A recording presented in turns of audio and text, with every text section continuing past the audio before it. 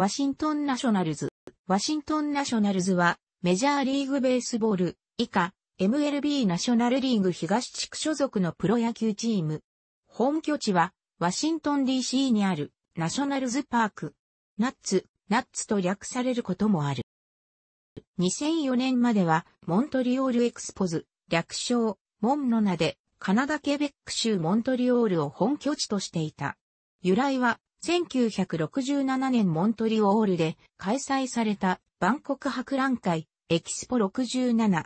2005年にアメリカ合衆国のワシントン DC に転したことによりアメリカ国外に拠点を置く MLB 球団はトロントブルージェイズのみとなった。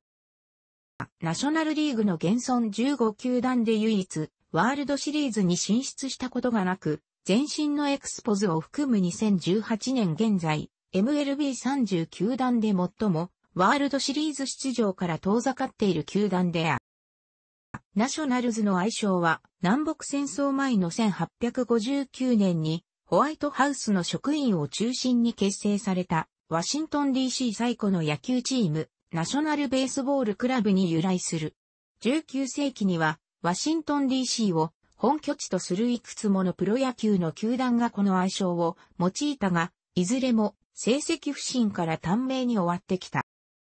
現球団はモントリオールエクスポズとして1969年に創設。アメリカ以外の国カナダにできた史上初の MLB 球団であった。1969年の結成当初から8年間使用されたジェリーパークはモントリオール市営の野球場だったが、当初はアマチュア野球の専用グラウンドだったので3000人程度しか収容することができなかった。そこで1969年の開幕前に急遽、外野席を取り付けるなどして、MLB 開催対応する球場として会場を果たした。ジェリーパークは当初、ドーム球場が完成するまで使用する次元契約という形だったのだが、その後チームの予算が厳しいことから1976年でお役御免取り、陸上スタジアムだったオリンピックスタジアムを野球場に改良して1977年から使用を開始した。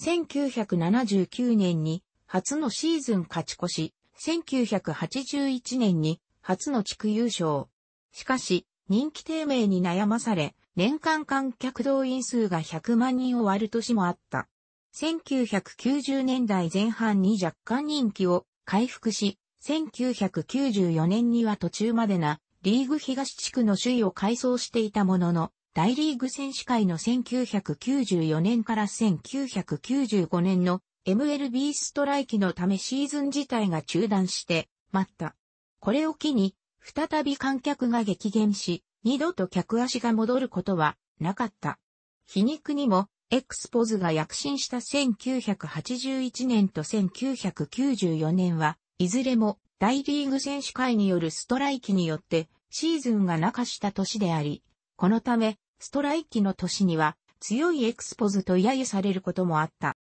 エクスポズ時代の晩年には深刻な財政難に陥り、プエルトリコにて主催試合を行うなどの対策も実施されていた。2002年2月15日には、ついに当時のオーナーであったジェフリー・ローリアが球を手放し、新たな買い手も現れなかったため、オーナー不在状態で、球団存続の危機に立たされてしまう。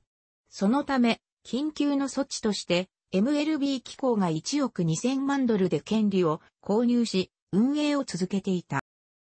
2004年のモントリオールからの移転に際しては、2008年の完成を目指して建設することになっていた新球場を同士が建設費用を負担することを前提に移転を認める予定だった。しかし、新球場の建設にあたり費用の半額を民間が負担するということを市議会が提案したことで、MLB 機構が態度を硬化。一時は移転の白紙撤回も示唆されそうになった。だが、その後、市議会は情報案として原則全額を市が負担するが不足分は民間から資金を調達するということで合意し、2004年12月28日、現地時間に正式にワシントンへの移転が決定した。2005から2007年度はかつて、ワシントンセネターズ、現、テキサスレンジャーズやアメリカンフットボール NFL のワシントンレッドスキンズ、1997年、フェデックスフィールドに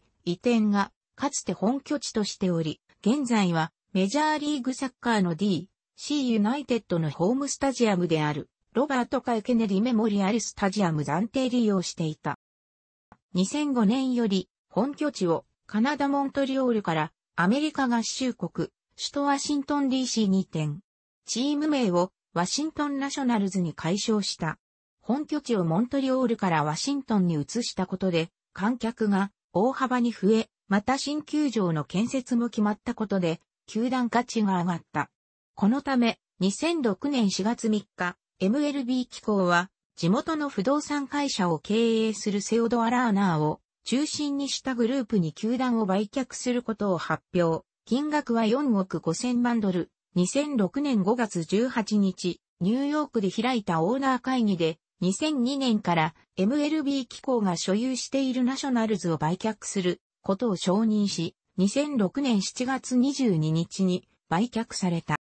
移転者年のは81勝81敗、勝率5割の成績ながら、地区最下位だった。この年の観客動員数は、エクスポズ時代には届かなかった250万人を超える269万2123人を記録。200万人を超えたのも1983年以来22年ぶりだった。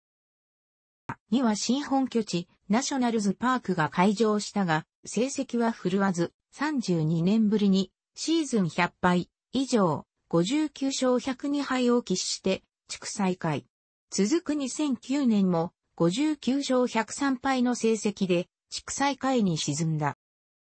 3月、中南米の若手選手との契約金を横領した容疑と年齢詐称に関わったとして、GM 特別補佐のホセリホが解任、GM のジム・ボーデンが辞任した。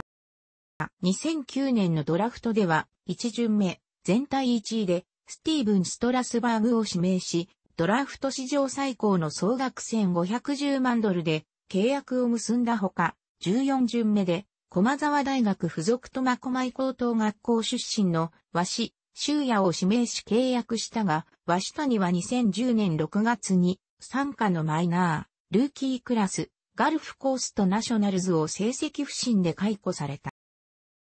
9月20日、ワシントンを本拠地とするチームとしては1933年のセネターズ、現、ミネソタツインズ以来79年ぶりとなるポストシーズン出場を決め、10月1日には地区2位のブレーブスがパイレーツに敗れたため、エクスポズ時代の1981年以来31年ぶり2度目、ナショナルズとなってからは、初となる地区優勝が決まった。ディビジョンシリーズでは、前年のワールドシリーズを制したセントルイスカージナルスと対戦。2勝2敗で迎えた最終戦では、序盤から6点差をつけ、最終回も7対5でリード。勝利まであとストライク一つの場面までこぎつけながら、抑え投手ドリュース・トーレンの乱調で4失点。7対9で逆転負けを喫して、リーグチャンピオンシップシリーズ進出を逃した。